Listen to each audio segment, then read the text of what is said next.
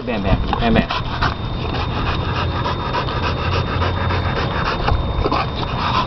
And look at that mouth. Bam. It's like, yes, my mouth is wide. It's not a mouth, it's a catcher's mitt. It is. Quite naturally.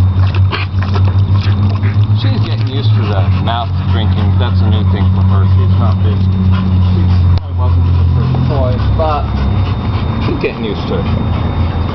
And she still has her ball. She will probably carry the ball all the way home. Unless she gets distracted. Well, squirrel. Okay. Did you ever see Up? I saw parts of it. Oh, we need to see Up. Yep.